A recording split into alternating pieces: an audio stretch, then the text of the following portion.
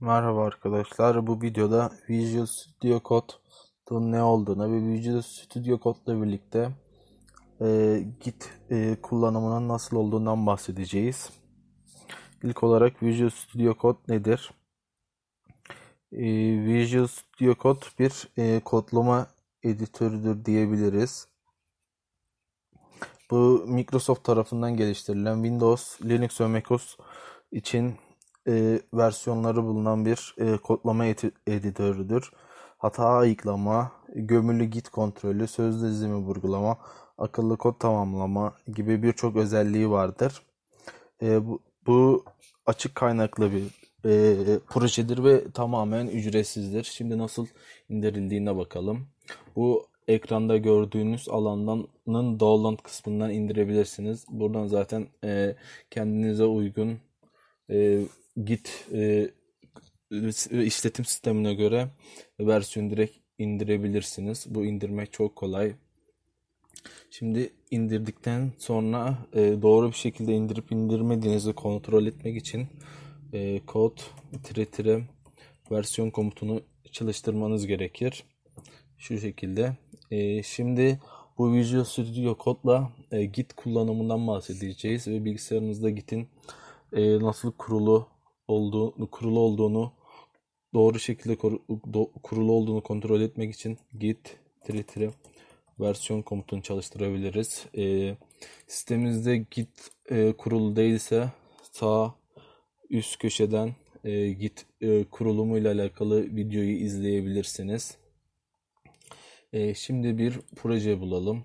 E, bu projeyi ilk önce bilgisayarımıza Visual Studio Code yardımıyla açalım e, Visual Studio kodu terminalden açmak için e, kod e, komutunu çalıştırmanız yeterli.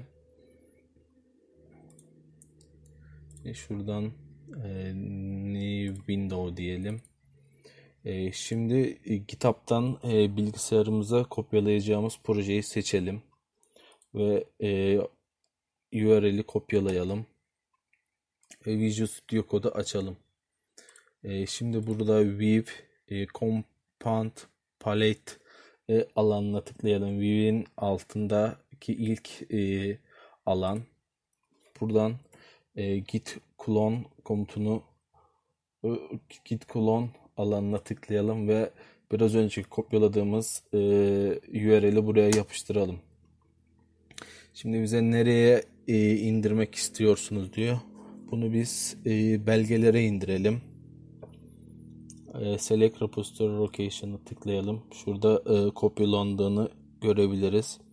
E, şimdi bu indirdiğimiz projeyi açmak ister misiniz diyor. E, biz de açalım.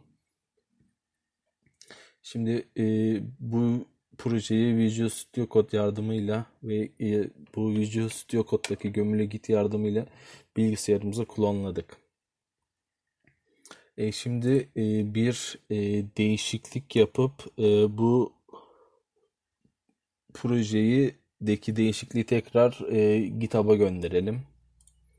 E, şurada örneğin şu alanı kopyalayalım mı? Allah çok gittik.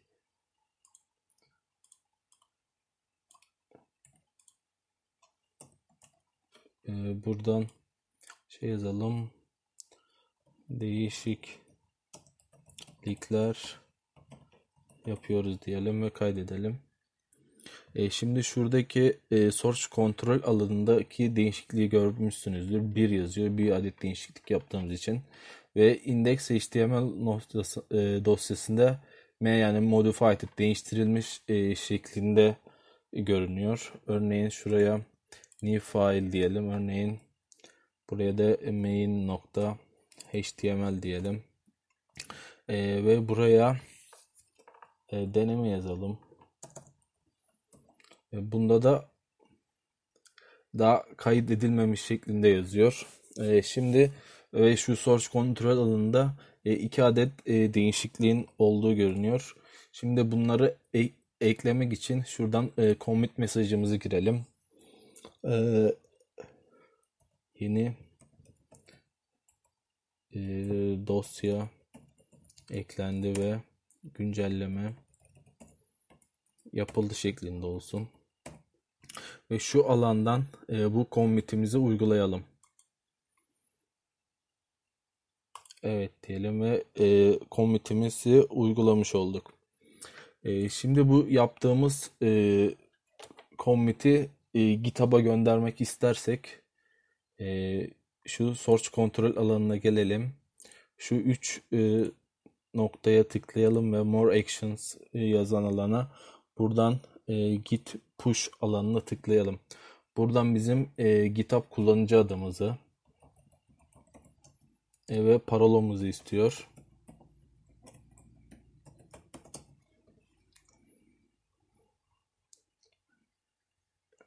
Evet, e, projemizin e, gittiğini bize söylüyor.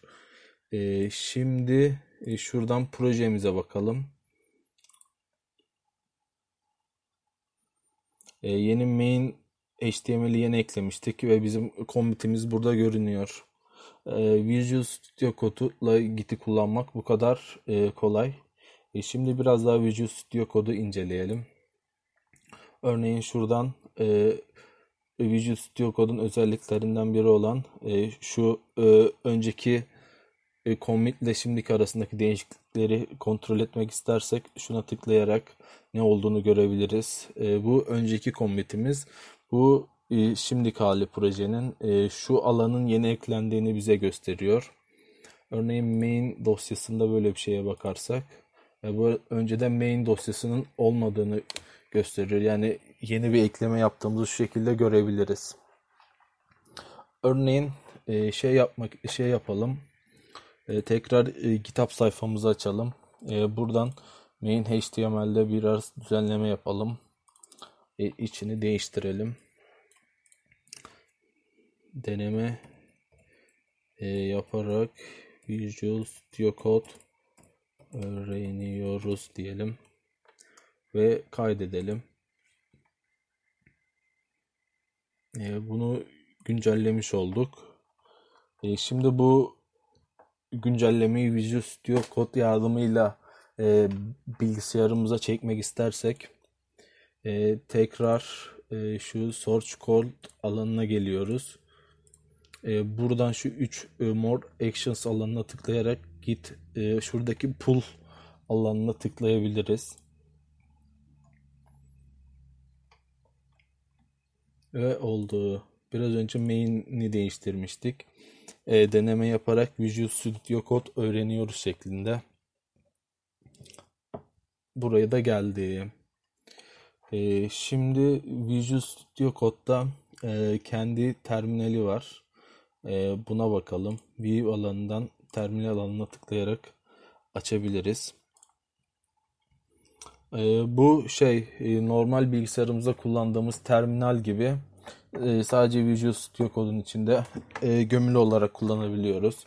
E, karmaşıklığa daha az yol açtığı söylenebilir. Bu kadar. E, başka videolarda görüşmek üzere. E, sormak istediğiniz soru olursa yorum olarak ya da mesaj olarak bana ulaştırabilirsiniz. İyi günler arkadaşlar.